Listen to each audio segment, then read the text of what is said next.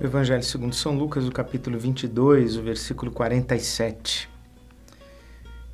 Enquanto Jesus ainda falava, apareceu uma multidão conduzida por Judas, um dos doze. Judas se aproximou de Jesus para saudá-lo com um beijo. Jesus está no Getsemane com os seus talmidim e ele acaba de fazer as suas orações e agora Judas chega com os soldados romanos que vêm para prender a Jesus. O que é interessante é que Judas combina um código com os soldados romanos. Ele diz: Eu vou chegar e vocês prendam a Jesus, e Jesus é aquele em quem eu der um beijo. É muito interessante que Jesus não era óbvio. Judas não diz aos soldados: Olha, eu vou chegar e você vai encontrar Jesus com os seus talmidim e você vai logo ver quem é Jesus.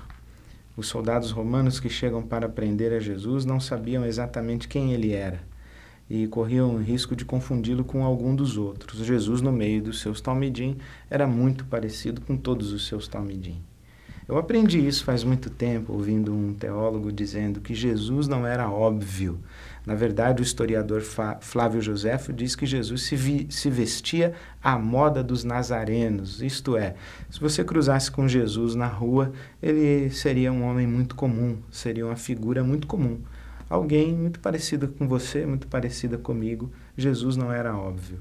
Durante muito tempo eu carreguei esta afirmação dizendo: Jesus não era óbvio. Entretanto, me ocorreu o seguinte: que de fato Jesus não era óbvio para quem chegasse e tivesse 15 segundos, 30 segundos, um minuto para prendê-lo.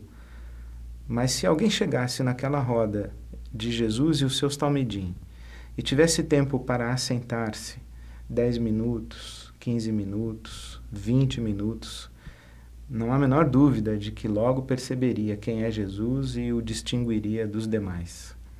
Não há a menor dúvida de que bastariam 15, 20 minutos ouvindo Jesus falar e Pedro falar para que os soldados soubessem quem é Jesus e quem é Pedro.